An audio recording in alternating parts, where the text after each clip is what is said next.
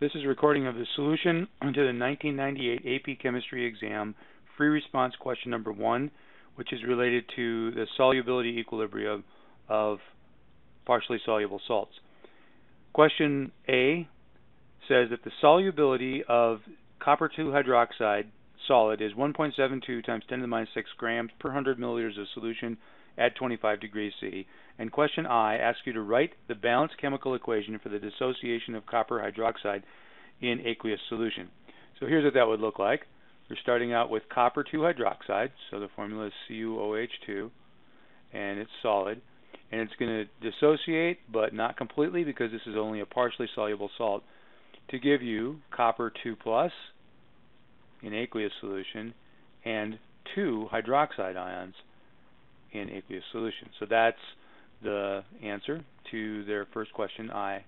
And II, the next question, says to calculate the solubility in moles per liter of copper 2 hydroxide at 25 degrees C. Well, they actually give us the solubility already. It's just not in the units that we want.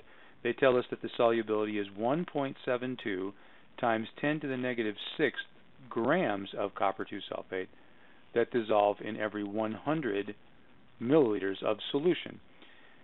So molarity, molar concentration, is what we're trying to find, and that's moles per liter. So the first thing we can do is we can convert grams to moles by using molar mass. The molar mass of copper 2 hydroxide is 97.56 grams per 1 mole. So with grams canceling out here, that gives us moles per milliliter, but we want moles per liter. So we'll just make a quick conversion here by knowing that there are 1,000 milliliters in 1 liter. And when we calculate the answer, we find that it's 1.8 times 10 to the negative 7th moles per liter. So that's the answer to I.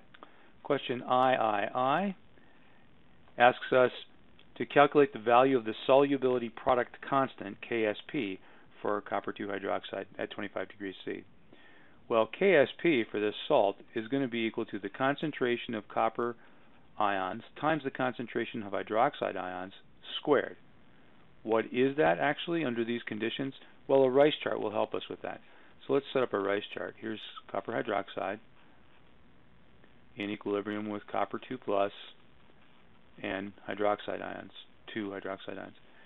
Initial concentration, well, we don't have any of the products. The change, every mole of copper hydroxide we lose, we'll gain a mole of copper ion, and we'll gain two moles of hydroxide ion. So when we reach equilibrium, we'll have x moles of copper ion and we'll have 2x moles of hydroxide ion. Now KSP then, in terms of our chart, would be x, because that's concentration of copper ion in solution at equilibrium, times 2x net quantity squared, because that is the concentration of hydroxide ion. And the coefficient on hydroxide is 2.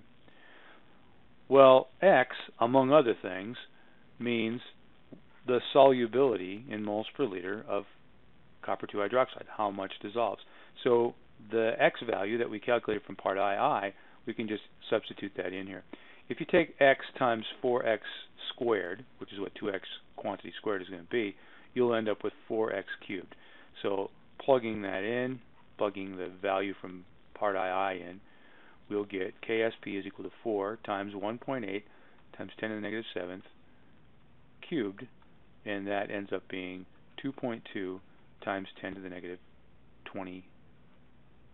That's our KSP value. Part B. Part B is about a different salt, and it's sort of starting us over here uh, with zinc hydroxide rather than copper 2 hydroxide. So let's slide up and make ourselves some space and begin this problem. Question B tells us that the value of the solubility product constant, KSP, for zinc hydroxide is 7.7 times 10 to the negative 17th at 25 degrees C. And question I asks us to calculate the solubility in moles per liter of zinc hydroxide at 25 degrees C in a solution that has a pH of 9.35. Well, if the zinc hydroxide was just dissociating in water, this would be the dissociation. Zinc 2 plus aqueous would be formed, and you would have two hydroxide ions formed. So it's very similar to the part A dissociation. Now, if we were doing a rice chart, I would be 0 for zinc ion, and it would also be 0 for OH minus if we were in pure water, but we're not in pure water. We're in water that has a pH of 9.35. So if the pH is 9.35, the hydroxide ion concentration isn't 0 like it would be in pure water. So we're going to have to figure out what it actually is. One thing we know is that the concentration of hydroxide ion is going to be 10 to the negative POH. And we also know that POH is going to be 14.00 minus the pH. So in this case, that's 14.00 minus 9.35, because that's what our pH is. And so that means our POH value is 4.65. So with a pH of 4.65, that means the hydroxide ion concentration that we're starting out with here, initial hydroxide ion concentration, is going to be 10 to the minus 4.65, which is 2.2 times 10 to the negative fifth. So when we start with our rice chart, we're going to put for an initial concentration of hydroxide 2.2 times 10 to the negative fifth. What's the change? Well, we're going to lose some moles of zinc hydroxide, and because of one-to-one -one stoichiometry, we'll gain the same number of moles of zinc ion, and then we will gain two times the number of moles of hydroxide ion. So that at equilibrium, our concentration of zinc will be X, and our concentration of hydroxide will be 2.2 times 10 to the negative fifth plus 2X.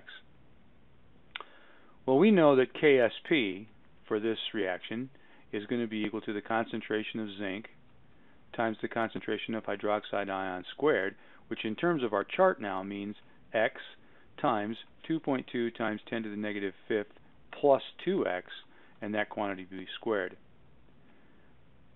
But KSP is a pretty small number.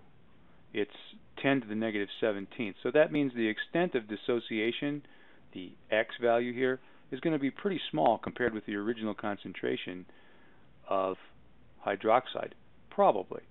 So we'll make a simplification and we'll assume that 2x could be ignored here and we can say that KSP, which we know is 7.7 times 10 to the negative 17th, is pretty close to x times just 2.2 times 10 to the negative 5th squared. And then we'll find x. And x is equal to, among other things here, the solubility of zinc hydroxide. And we can find it by taking 7.7 times 10 to the negative 17th and dividing it by the square of 2.2 times 10 to the minus 5. And the answer that we get when we do that is 1.5 times 10 to the negative 7th. Now a good way to quickly check and see if we have not violated the 5% rule is just see if this is within 5% of the starting concentration or not. So if we take 1.5 times 10 to the negative 7th and we divide it by our initial concentration, 2 times 2.2 times 10 to the minus minus fifth, we get about 0.68%. So this was a very good assumption that sim that simplification works out. So there's our answer. The solubility of zinc hydroxide in this basic solution is 1.5 times 10 to the negative 7. Question II is a challenge. It says at 25 degrees C, 50 milliliters of 0.1 molar zinc nitrate is mixed with 50 milliliters of 0.3 molar sodium hydroxide, and we're supposed to calculate the molar concentration of zinc in the resulting solution once equilibrium has been established, assuming that volume, volumes are additive. So here's what would happen if we put zinc nitrate in water. Zinc nitrate, like all nitrate salts, is completely soluble, and so we will get zinc ions and two nitrate ions in solution. We started out with 50 milliliters of this solution, and the solution had 0.100 moles of zinc nitrate per liter. So that means we would end up with 5.00 millimoles of zinc nitrate, which would mean 5.00 millimoles of zinc ion because it's one-to-one -one stoichiometry. So the concentration of zinc ion, moles per liter, would be equal to that 5.00 millimoles in the total volume. We added this with 50 milliliters of the other solution, so the total volume is now 100 milliliters. The milli part cancels out, and it just leaves us with molarity, and the concentration is 0.0500 molar. Here's what would happen if you put the sodium hydroxide in water. Like all sodium salts, this is going to dissociate completely, so you get Na pluses and OH minuses. And you had 50 milliliters of a solution, but this one was 0.300 moles per liter. So this is going to give us 15.0 millimoles of sodium hydroxide, which also means 15.0 millimoles of hydroxide ion because of one-to-one -one stoichiometry. So the concentration in moles per liter of hydroxide ion is going to be equal to 15.0 millimoles over that same 100 milliliters that the solutions make when they combine. So our concentration is now going to be 0.150 molar in hydroxide ion. So you might want to set up a rice chart here. Here's your reaction. What's going to happen when these two get together is zinc 2 plus will react with two hydroxide ions reversibly because it is partially soluble to make zinc hydroxide solid. Now K for this reaction is 1 over the KSP for the dissociation that we had up in part I. So that's 1 over 7.7 times 10 to the negative 17th, which is 1.3 times 10 to the positive 16th. Now we'll set up our I, C, and E. Initial concentration of zinc was 0.05 moles per liter. Initial concentration of OH minus is 0.15 zero, and no solid that we can are concerned about. What's the change? We'll lose x moles of zinc, we'll lose 2x moles of hydroxide, we'll gain x moles of zinc hydroxide. When we reach equilibrium here, we'll have 0.150 minus 2x, and we'll have 0.0500 minus x for our final concentrations of our ions. So here's what this would mean. Our K value, 1.3 times 10 to the 16th, is equal to 1 over 0.05 minus x times 0.15 minus 2x quantity squared. Now I'm looking at this and I'm seeing a very difficult problem to solve. You're going to end up with an equation in the denominator on the right hand side that's not a quadratic. It's a factor of 3. And this is complicated by the fact that you can't make any simplifying assumptions. To assume that a k value that's as big as 10 to the 16th is not going to dissociate very far is a very inaccurate assumption. And so we can't make any simplifications. That makes this a tough problem to solve. And even if you try and do it by graphing, you're going to have a really hard time finding the intersections, I think. If you try to do it on a solver, you're probably not going to be able to find a sign change. And so there might be a better approach. And so this is what I'm going to try. I'm going to assume that this reaction basically goes to completion, that the reaction completely moves in the right-hand direction at first. All the zinc and all the hydroxide that are available precipitate, and then it goes backwards. Then it redissociates. So how would that look? Well, first of all, if I start out with my zinc and my two hydroxides, and I'm going to precipitate these as zinc hydroxide, solid, I start out with 0.0500 moles per liter of zinc and 0.150 moles per liter of hydroxide ion. That's my initial. What's my change? Well, the limiting reactant here is going to be zinc because the mole ratio is 1 to 2 between zinc and hydroxide. So if I precipitate out all 0.0500 moles per liter of zinc, I will only precipitate out double that amount, or 0.100 moles per liter of hydroxide. And I will gain 0.0500 moles per liter of zinc hydroxide. So at equilibrium, I basically have no zinc until it redissociates. I'll have 0.15 minus 0.1, which is 0.05 moles per liter of hydroxide left, and of course we don't care about the concentration of zinc hydroxide. So now we'll undo that. Now we'll re-dissociate here.